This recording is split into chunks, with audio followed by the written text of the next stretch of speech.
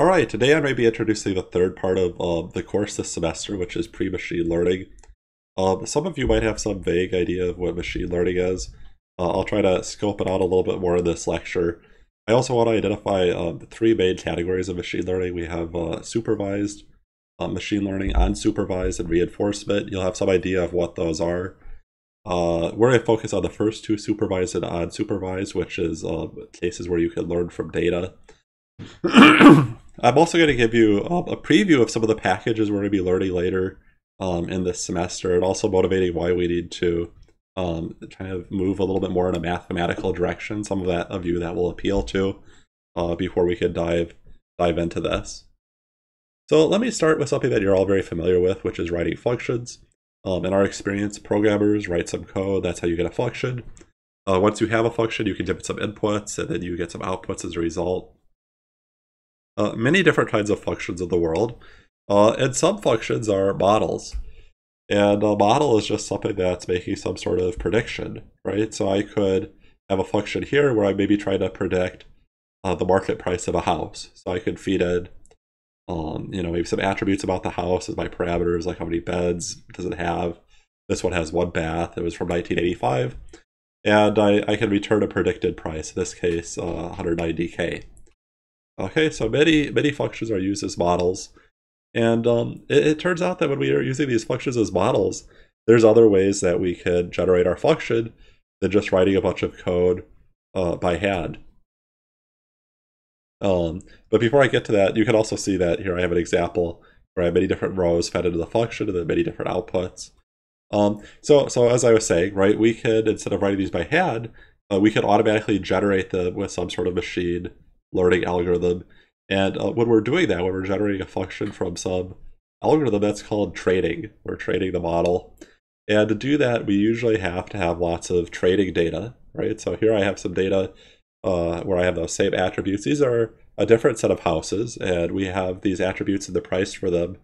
And the learning algorithm can try to figure out the relationship between the price and these other attributes. And then later, when we have live data, uh, we can make predictions on what the price is, even if we don't have that same um, input data. You can imagine why that'd be useful to, uh, I don't know, tax assessors or or real estate agents. Okay, so that was a specific example. Let's broaden a little bit about and talk about the different kinds of uh, machine learning. Um, in general, when you're learning, uh, you can think about what are you learning from. Um, one place you can obviously learn things is from data, and that's going to be the focus this semester. Uh, the other place that you can learn that's maybe a less um, uh, less obvious is from trial and error. You can take actions and see what what happens. And that third category is called reinforcement learning. Um, and I'm just trying to mention it briefly because I'm not trying to talk about it anymore this semester. Uh, but in reinforcement learning, you have some sort of agent, and an agent is just some code uh, that can make a decision. Um, and it can also be made aware of the outcomes of a decision. And from that, it can uh, well do two things, right? It can try to make decisions that lead to good outcomes, and um, and also make decisions that uh, lead to learning, right?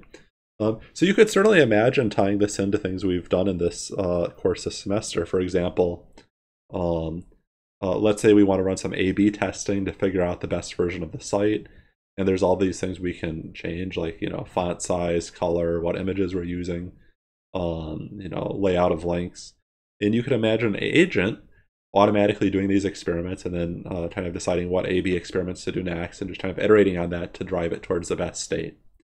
Um, so definitely an interesting field uh, but not what we're going to focus on. We're going to be more focused on for the rest of the semester um, learning from data. So we have some sort of data set uh, what can we learn from it um, and we cannot uh, really do more experiments, right? We can't say, oh, I wonder what would happen if I had this kind of data and then find out. We're just trying to fix with the data we have.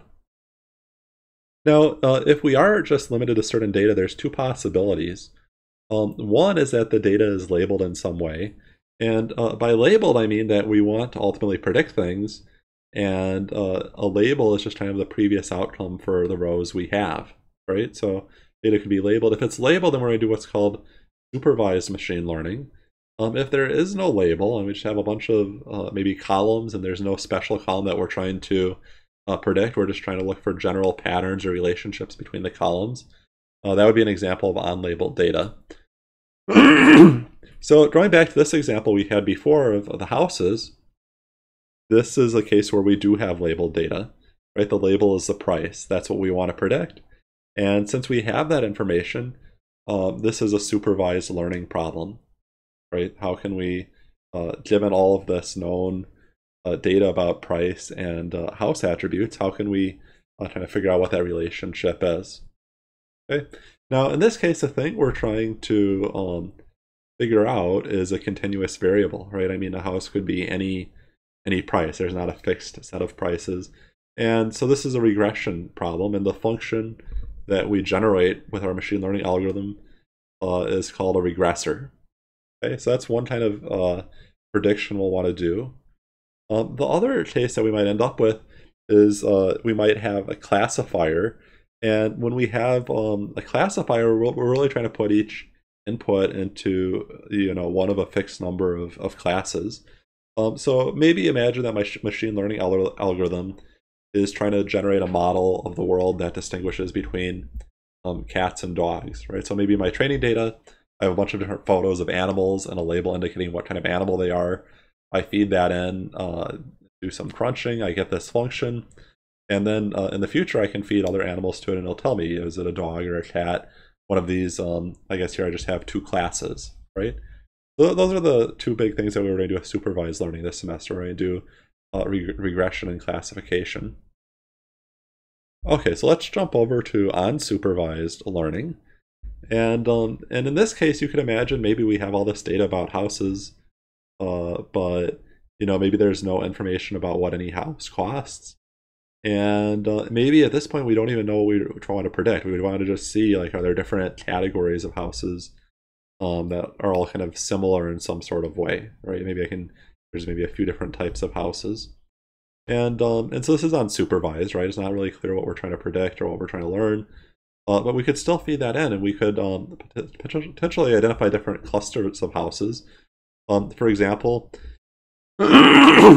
maybe um, there's one group of houses that are old and have few bathrooms, and there's these newer uh, houses and, and they all have more bathrooms, right? There might be some similarities across columns and um, the function in this case is not only uh, only kind of putting them in these different clusters or categories, uh, but the machine learning algorithm itself decides what these categories are. And, and because of that, that's why they have these kind of um, weird names like cluster one, cluster two, right? They're not something meaningful that a human came up with. The algorithm is just noticing, hey, like things tend to fall into these different different groups. Now, it's totally possible after we come up with these different clusters uh, that we could retroactively look back and then see these things like, oh, cluster one tends to be old houses with few bathrooms. Uh, but it's also possible that there will be no easy way to describe uh, what the clusters are that get um, discovered by these systems. Okay, so let me talk a little bit about the foundations we're going to build on uh, going forwards, both in terms of the math involved and um, and also the the Python packages we'll be using. Um, three main uh, packages we'll need to be using to do machine learning and related calculations efficient, efficiently. And um, those are NumPy. Um, we've actually seen a little bit of NumPy before in 301 or 220 um, when we dealt with random number generation. Uh, PyTorch, and then uh, scikit-learn. Uh, you can see the little pip3 install command at the bottom that you could use to install all of these if you like. Okay, so in terms of mathematical foundations, uh, we're going to have to know a little bit of linear algebra. I'm not assuming you have any background in this. Whatever you need to know, um, I'll, I'll, be introducing in this course.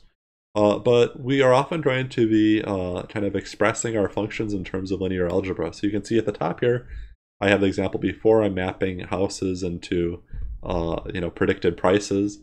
Um, one way I could do that is uh, with these equations like this. I could say um, you know, maybe the house, the price of the house is Y, and uh, and maybe I have this input data A. You can actually see that that matrix on the left with um, 2 1 1985. It's just another representation of my um, of my data framer table in the top left. And what I can do is I can multiply that matrix uh, by a vector x, maybe add something to that, and then I get another vector of predicted prices on the right. So I can easily um, express certain kinds of functions uh, as this uh, dot product between um, a, a, matrix of data and a vector, right? And uh, and so what am I doing here? I'm just multiplying a by x. That's a dot product. I might be talking more about what the dot product is. Some of you might have already um, encountered this. it's a very convenient and efficient way uh, to implement a function like this. Um, here on the right, I have an example of some Python code that's doing that. Um, so we're importing NumPy. NumPy is the main package we're going to be learning uh, to deal with linear algebra. Um, the tradition is you say import NumPy as NP for short. And uh, if I have a data frame, it turns out that data frame.values gives me a NumPy array. And so here I'm pulling that out into variable A. And uh, then I'm doing that dot product, which um, I said we'll talk more about in the future between um, A and X. Right, and I'm just adding a number to get the to get the output. So we'll be spending a lot more time on this. Um, let me just like briefly address what this means. This linear algebra. Uh, it means that we can only really uh, multiply variables by constants, then uh, add these different uh, variables together, right? So here I have at the top y equals x squared. Uh, that's not an example of a linear, linear um, equation because I'm squaring x, right? I can't multiply x by itself, only multiply it by, um, uh, by these constant factors. Um, on the other hand, the second one uh, is in some ways simpler, in some ways more complicated. I see that um, I have 50 variables here, uh, but what I'm doing with the variables is all relatively simple. I'm, you know, I multiply x0 by 3, I multiply x1 by negative 2, so on and so forth. So I'm just multiplying and adding and uh, so in that regard, it's kind of simpler, but it's also, um, we're often going to be seeing use cases where we have many more uh, variables, right? So it's complicated in a different way, but maybe not more complicated um, overall. Um, knowing a little bit of calculus is useful uh, for this work, but you don't need to know a lot. Uh, well, why is that? Well, calculus lets us um, optimize things, right? Maybe, maybe I know a lot of you have taken a calculus, and often we're trying to figure out, well, what x value maximizes the y and uh, if I have some sort of equation. And calculus gives us the tools to optimize, right? We either maximize things or minimize things. and here, what are we going to be doing? We're going to have um, our, our functions or our models are going to be these things that are expressed in linear algebra often, often or in other ways. And uh, from that, we're going to get a bunch of predictions. Um, we can also even also get these predictions on data um, that uh, we know the answer to. And that's a very interesting case, right? When you can compare your predictions with the actual truth, because then you can calculate what your error is. And um, there's different ways to quantify how wrong we are. Um, typically, the function that does that is called a loss function, right? There's different ways to quantify um, our level of being mistaken, right? So I can feed my predictions and my price into a loss function and, and I'm seeing here is a little strange because I have three and four rows. There were supposed to be four, four rows in each case. If I feed that in, I get a loss. And, uh, and of course, there's a relationship, right? If my uh, function um, is kind of doing this linear algebra matrix multiplication, uh, the coefficients I use in x definitely relate to the, that loss. Some x values are going to have a larger loss or larger error, and others will have something that's smaller. And, uh, and so that's what we want to optimize, right? We want to figure out what X should I use uh, to make my loss as small as possible. And so the concepts we're going to need to know um, for that are, you know, what is a derivative in calculus or how can I compute a gradient? Um, I think most of you have uh, been exposed to that, uh, but if not, don't worry, we'll be talking more about it um, enough, you know, to get you through this course. now, we've seen a lot of cases this semester where we are trying to make our code faster, right? We want to reduce the complexity, avoid expensive operations. Uh, but a lot of the stuff that you're doing with machine learning is just inherently um, computationally expensive, right? It takes a long time to do. And, um, and so something takes a long time to do, uh, one strategy people often will rely on is parallelism. And parallelism means that you break your work into pieces and you work on multiple pieces at the same time. And uh, and there's different ways you could do that. You could imagine one way is that uh, you could just buy a lot of computers, right? And all the computers are, are doing some computation at the same time. Um, as I mentioned way back at the beginning of the semester, though, um, a lot of modern CPUs, most of them, have uh, multiple cores in them. And a core is really like a mini CPU, even though it's on the one big CPU chip, right? So that's one way we can run uh, many things at a time. Now, something is kind of, uh, it's interesting how things have evolved in the hardware world. Uh, we used to think about using uh, CPU for kind of most co computations. And uh, then we would buy these graphics cards, these graphics uh, processing units or GPUs that would just be for um, kind of handling the video or the monitor um, and what we see there. And especially for gaming, right? That can be very computationally um, intensive. Uh, and, and it turns out that worked, even though it's very computationally intensive to do graphics. Uh, it's very easy to parallelize. It's very easy to break it up into a lot of different um, pieces and, and work on those independently. And so, because of that, GPUs um, have evolved to have many cores in them uh, that are generally not as powerful as a CPU or as flexible, uh, but they've really built these graphics cards to have lots and lots of cores. And so it turns out that a modern GPU might have thousands of cores. Um, in contrast, you know, my laptop probably has like eight cores, or maybe a, a really nice desktop computer might have like 32 cores, right? But definitely not thousands. And so even though these graphics cards were, of course, originally built for graphics, it turns out they're tremendously useful for certain types of scientific computing uh, and machine learning. They make things like multiplying matrices really fast or computing gradients. And uh, and so for this, right, we aren't going to get into the details of like buying GPUs and figuring out how to directly run code on them, but we're going to learn a framework called PyTorch. And PyTorch is cool because it lets you write code to run on your CPU, and then you can make some relatively small changes and start running your code on a GPU without having all this kind of specialized knowledge about how GPUs work. Right, so we won't be running anything on GPUs this uh, semester, but we will be using PyTorch to do um, some mathematical operations and compute gradients and to optimize things, really. Okay, so those are the foundations that we have. Um, let me talk a little bit about uh, kind of our approach in this course.